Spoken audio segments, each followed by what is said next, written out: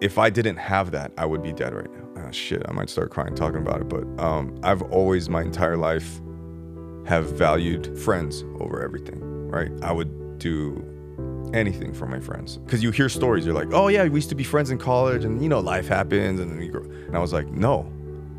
Like things come and go. The one thing that has to like stay constant in my life is friendship. So I nurtured those things. I made sure no matter what happened in my life, I would take trips, I would call. If I didn't have that, I would be dead right now.